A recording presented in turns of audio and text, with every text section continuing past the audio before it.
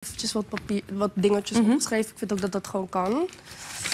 Ehm, nou ja, kijk, ten eerste, ik heb superveel respect voor eh, corona.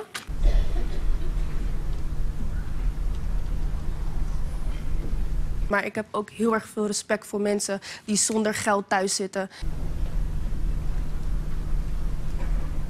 Wat Ja, was het gaat gewoon om de maatschappij. Wat? Blijkbaar moet je dus echt zo'n hashtag gaan gebruiken om dus in de aandacht te staan. Wat zodat had je mensen eerder je hierover horen. gepost met andere Ik heb hier nog nooit iets eerder over gepost. Dan weet je toch niet of een andere hashtag zou werken? ik weet, dat weet ik inderdaad niet. Oh nee, daar moet ik ook niet om lachen. Maar het is gewoon echt zielig. Hoe kan je zo hersenloos zijn? Ik heb erover na zitten denken. Want ik Ik vind ben ook geen... Even, Joh, Het is gewoon, weet je, er gaan heel erg veel mensen aan kapot. En dit is mijn mening. Hartelijk dank voor de informatie, eh, puber.